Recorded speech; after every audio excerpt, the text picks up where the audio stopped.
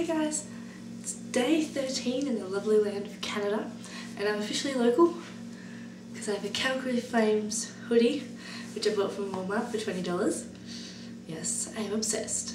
Um, it's actually fairly overcast today but it's still sunny and stuff but we're still waiting on snow but it's only 3 degrees and we need it to be like minus 5 degrees for snow. So they can't open the mountain yet. They've put the, I think the opening date back from the 14th which was I think this weekend to the 21st, which is another week away.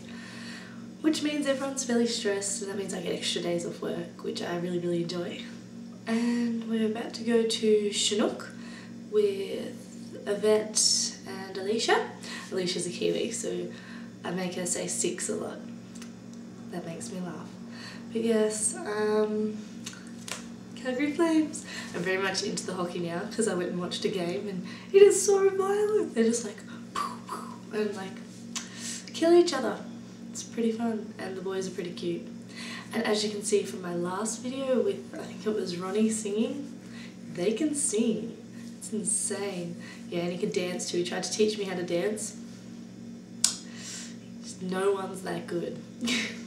yes, so I'm just waiting on the girls. I think they're still a bit hungover from last night, but yes that's all I've got. Day 13 and I'm still going strong. Love you all and I wish you all heaps, heaps, heaps, heaps, heaps. And I will talk soon.